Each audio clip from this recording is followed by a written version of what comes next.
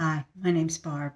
This tarot reading is for the sign of Gemini for the week of May 22nd, 2022. Okay, Gemini, the theme of the week is you're feeling a little trapped.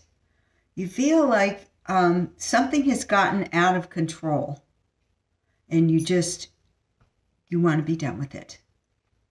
The beginning of the week, you're going to hear some news that's going to reinforce you feeling this way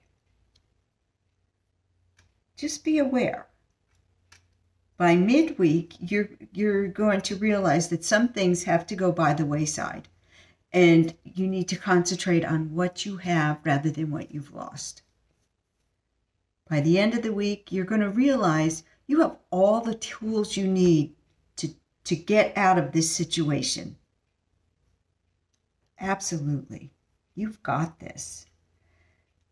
By the weekend, you're going to the feeling, the satisfaction from from past efforts. You're going to realize how far you've come. And what you're going to learn is um, a new start